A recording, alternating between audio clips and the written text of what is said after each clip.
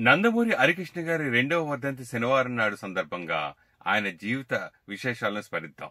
Nataratna NT Ramarao గారి తనయుడు హరికృష్ణ శ్రీకృష్ణ అవతారం సినిమాతో బాలనటుడిగా పరిచయం అయ్యారు తర్వాత తాతమ్మ కళ తెల్లా పెళ్ళామ రామ్ రహీం దానవీర సూరకర్ణ మొదలైన సినిమాలలో నటించి నటనకు విరామం ఇచ్చారు తండ్రికి అండదండలుగా రాజకీయాలలో ఉన్నారు. మళ్ళీ శ్రీరాములయ్యతో మేకప్ వేసుకున్నారు. సీతారామరాజు లాహిరి లాహిరి లాహిరిలో సీతయ్య టైగర్ హరిశ్చంద్ర ప్రసాద్ స్వామి సినిమాలతో హీరోగా హిట్స్ సాధించారు. రెండేళ్ళ క్రితం ఆగస్టు ఇరవై తొమ్మిదిన జరిగిన ఓ రోడ్డు ప్రమాదంలో ఆయన కన్నుమూశారు.